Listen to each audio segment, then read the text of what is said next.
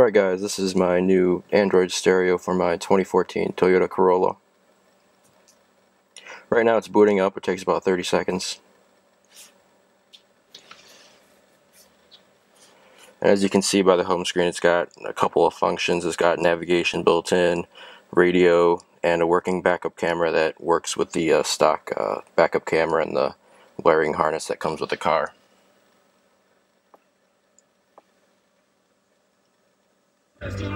We deserve.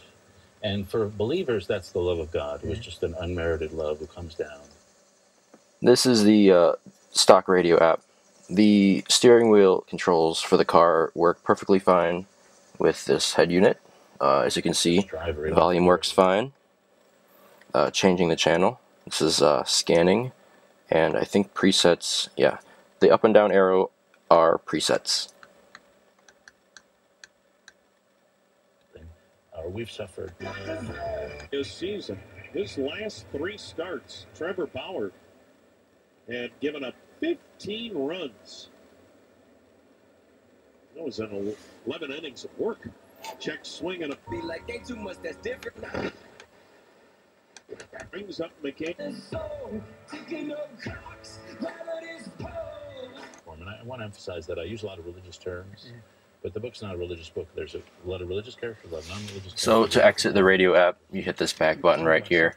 Um, if you don't hit that button, if you go straight home, it will not exit the radio app. So hit this button here. Now it does come with root built in. You just have to enter a code in the settings here.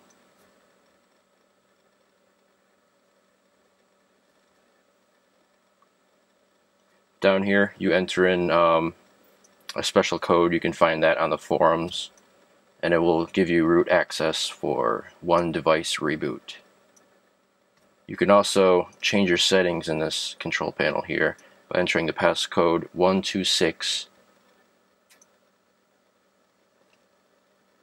and this will allow you to change the boot logo the radio bands and various other things you probably don't want to mess with these.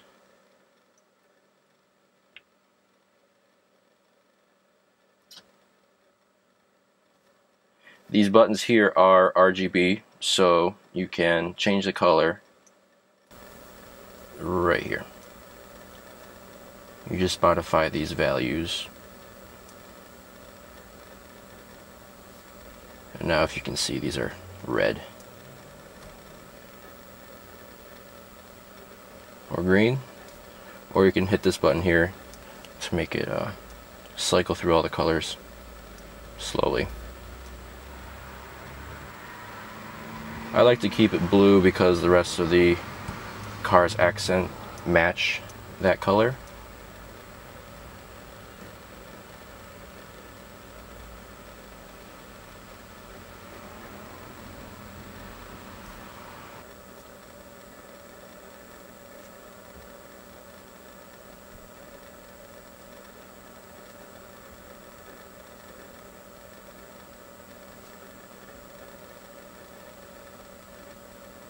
As always, uh, Google Maps works fine as long as you have an internet connection. You can buy a USB dongle that will give you uh, 3G internet access, but you'll need a, a uh, separate data plan for that. Uh, it costs typically around 20 to 35 dollars.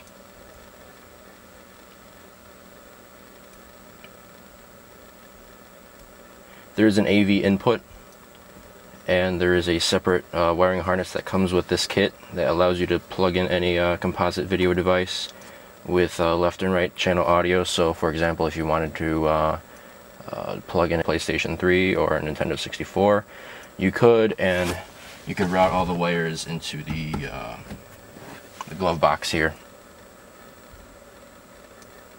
Now I'm going to go ahead and start the car and show you what the backup camera looks like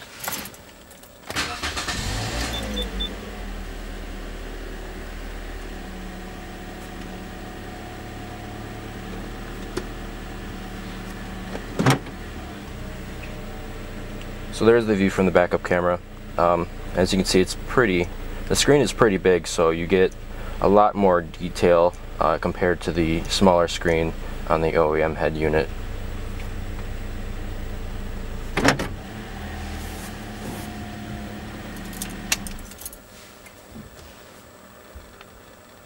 It comes with a uh, built-in web browser. This is just your stock Android web browser.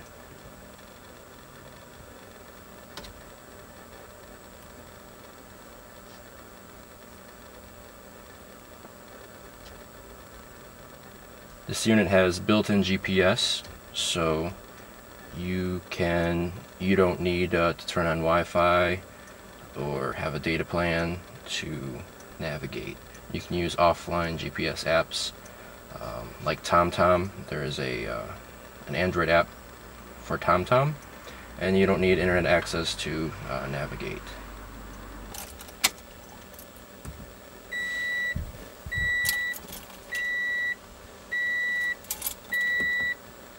As you can see here, there are there is a dis there is a display for the heating and air conditioning that corresponds to the display below. There is one small bug though. The temperature does not match up with the temperature on the screen here.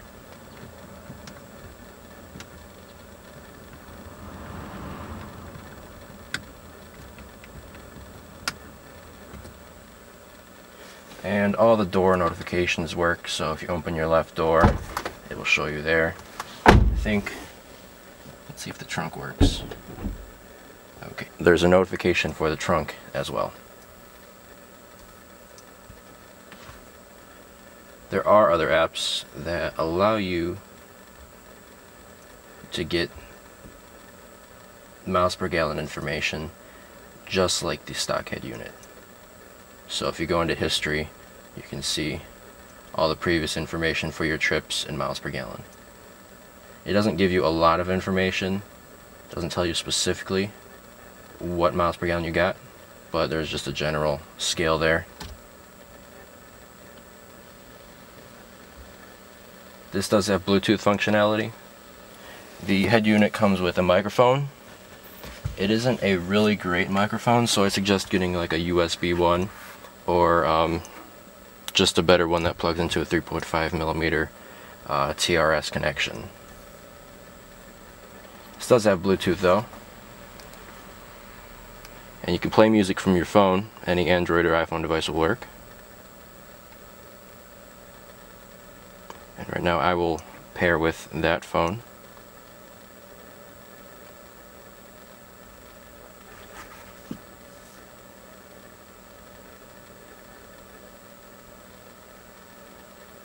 So as you can see, these lit up so you have all your functionality for your dialer, your contacts, your recent calls, your music, um, search functionality, oh, paired devices. And if you go onto your phone, you can just start playing music.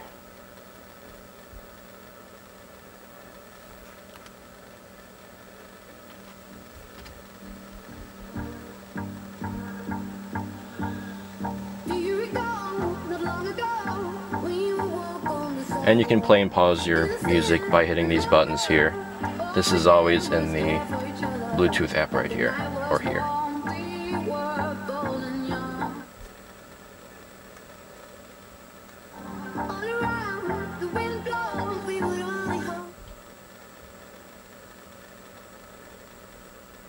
And there is an option for a USB, um, I believe, a dash cam, but I already have a dash cam installed.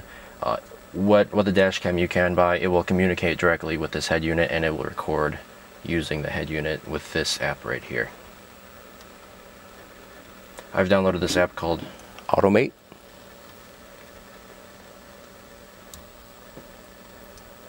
What it does is essentially mimic the features of Android Auto. So you have your home button here, calls, navigation, um, start, which allows you to access all your apps too. This is this is basically like a launcher. Okay, so you can just pick through your apps like if it were just a regular launcher.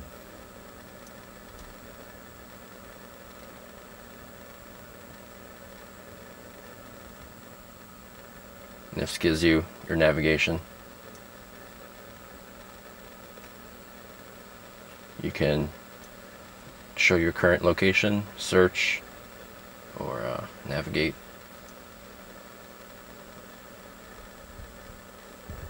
And it's persistent in the background, so you can, this is how you exit it right there.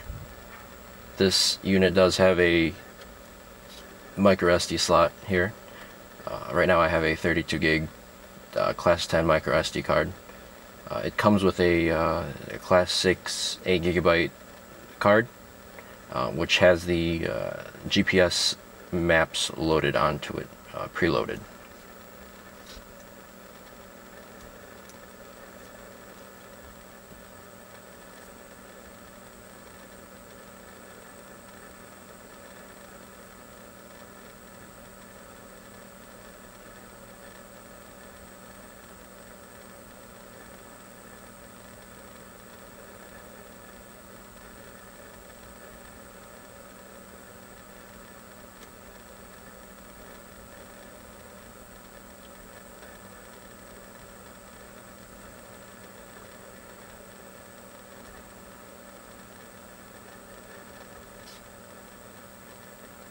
Here's all the information about the GPS satellites. It can tell you uh, which ones are being seen so you can troubleshoot uh, if you're not, if your uh, GPS antenna isn't connected properly.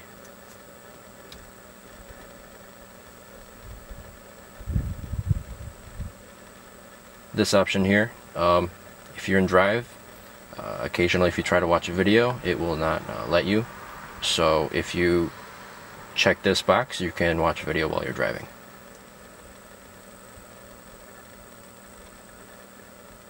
I think also you can mirror the reverse image with these options here. I haven't actually tried this.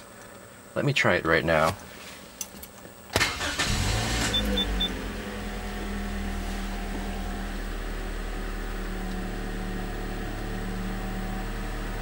So, as it's set right now, there is no reversing tra trajectory display. I'll go into reverse and there is that display which is I think the OEM display for trajectory and it doesn't move I don't think. So if I turn it on let's see if it does anything.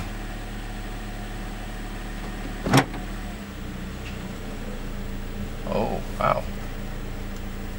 So I'm turning the steering wheel right now and it's actually showing me where I'm going to be backing up that is really neat. Um, as you know, the, the Toyota Corolla and the stockhead unit, um, it just features this, this display right here and it doesn't give you trajectory information. So what this head unit is doing is reading the CAN bus information, which is showing its uh, current steering wheel position and uh, giving you a heads-up display where you're going to be reversing, which is just a great feature. Unfortunately, the uh, the other display is built into there. It's uh, burned into the camera's head unit display. So these are your amplifier settings. I wouldn't suggest turning on this loud because it introduces a lot of uh, noise into the signal. But um, it does feature a lot of the uh, default customizations that you can modify on the stock head unit. Uh, for example, you have a equalizer. Uh, the I think the stock unit uh, only has a three band equalizer. This one has a uh, nine band, yes, nine band equalizer with presets. So you've got all these. Here we have the um, fader. You can change where this is going. So right now I have my subwoofer hooked up into the rear speakers, so if I wanted to make the subwoofer louder, I could just point these back here and the sound would go straight to the subwoofer, which is a speaker right here.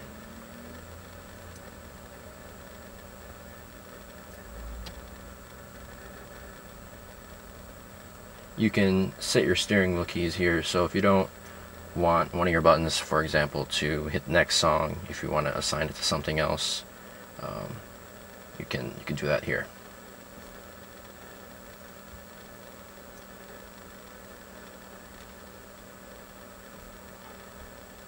And there's a super user app. This gives you full root access. And here's the information about this head unit. Model number S07, HCT MCU, Android 4.4.4, uh, built July 8th, 2015. This is the uh, quad-core model with 1 gig of RAM. And if you read the listing for from uh, Alibaba or eBay, you'll notice that the, the listing says that it's only a dual core. Uh, but all these units do appear to come with a quad-core processor and a gig of RAM.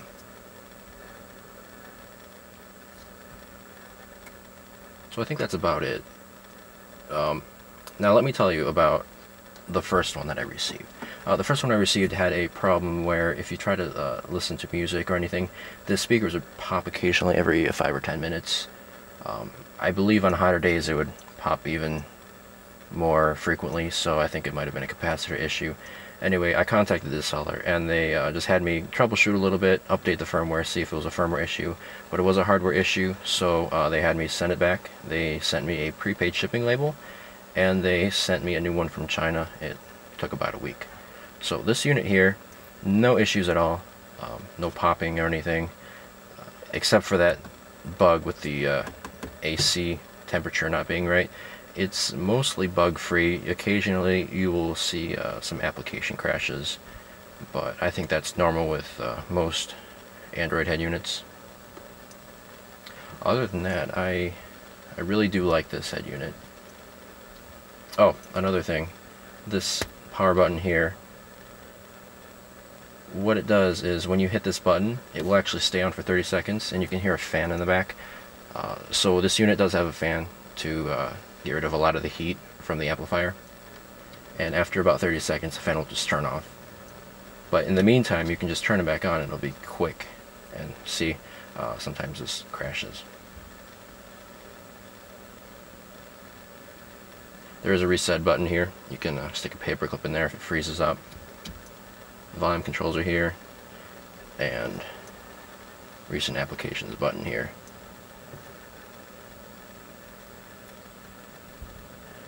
So yeah, I mean, it's a pretty good head unit. Has Wi-Fi. And tethering. If you get a 3G dongle, you can make your own Wi-Fi hotspot. Thanks for watching, guys.